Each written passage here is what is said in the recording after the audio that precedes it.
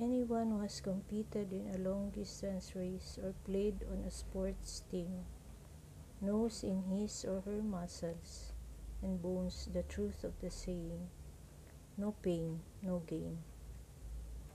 The prize we seek to gain outweighs any sacrifice. Self denial replaces self gratification, and a focused, disciplined, Christ centered life leads not to a medal or a trophy, but to life everlasting.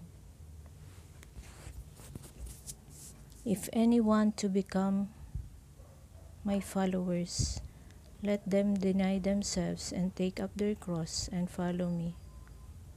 For those who want to save their life will lose it, and those who lose their life for my sake and for the sake of the gospel will save it.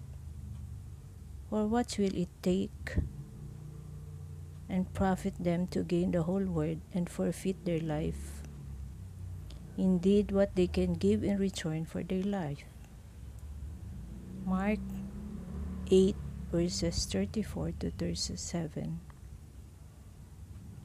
Let anyone who is thirsty come to me, and let the one who believes in me drink. John chapter 7 verse 37 to 38.